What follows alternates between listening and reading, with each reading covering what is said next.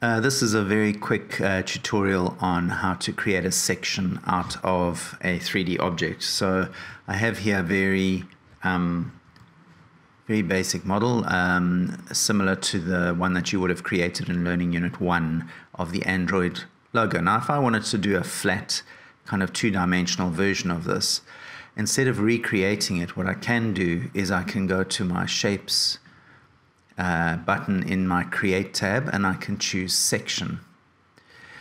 Okay, and then I'll go to my um, front view and I will drag a section out like that. And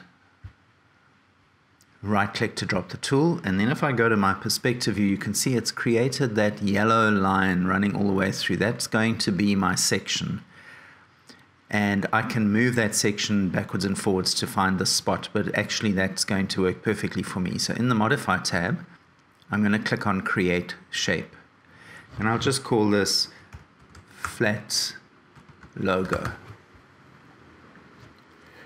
Okay, and now I can um, hide the original and hide the section, and you'll see that's now my spline of the um, section. So it's literally cut like a laser through the middle of it and created a section on that.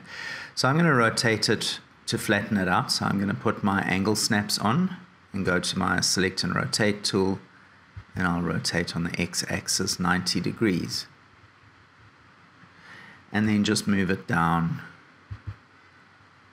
to the plane. In fact, let me do that numerically.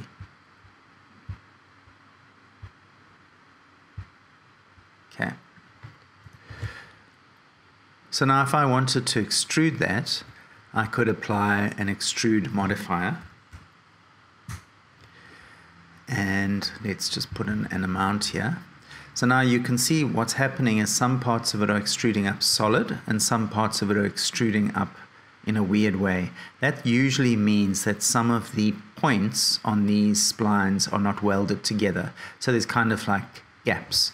So I'm going to go back down to the spline and to vertex and I'm just going to drag over all of the verts in the object and I'm going to go down to weld. Click on weld, then go back up to extrude and okay I've still got a problem with the top part here so let's go back down here and let's see what's happening. So I'm going to try spline and click and you can see that the spline only selects that part. So that means that these are two separate splines and that's a problem. So let me find out where those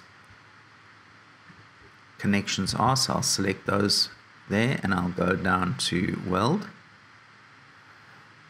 And let's see what we get now. So our spline goes all the way up to the top. I'll select there and weld. Okay, that looks better. Let's see what we get now. Still no good. Um, okay, let me just try in the top viewport, selecting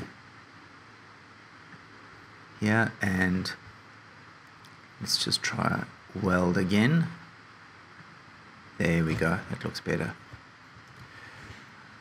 Okay, so now I have a 2D extruded version of my Android logo. You just give it a color. Okay, and that's it. I hope you've enjoyed this video. Uh, please subscribe to my YouTube channel and see you next time.